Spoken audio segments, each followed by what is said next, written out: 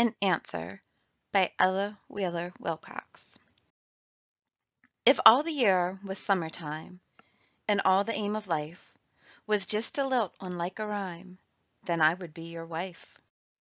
If all the days were August days, And crowned with golden weather, How happy then, through green clad ways, We two could stray together! If all the nights were moonlit nights, And we had naught to do But just to sit and plan delights, Then I would wed with you. If life was all a summer fête, At soberest pace the glide, Then I would choose you for my mate, And keep you at my side. But winter makes full half the year, And labor half of life, And all the laughter and good cheer Give place to wearing strife.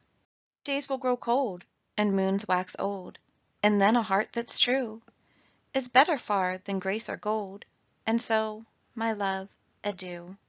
I cannot wed with you.